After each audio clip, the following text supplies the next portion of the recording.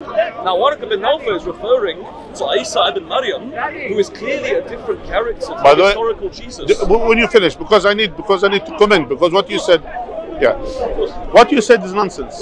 I will tell you why. Because actually, it's the other way around. If you are using our sources about Waraq ibn Nawfal, let's use what is our sources saying about Waraq ibn Nawfal. You understand? You are you are assuming things in our sources, and you say. Firstly, you will never know about Waraq ibn Nawfal if we if it wasn't introduced from Muslim sources. Yes.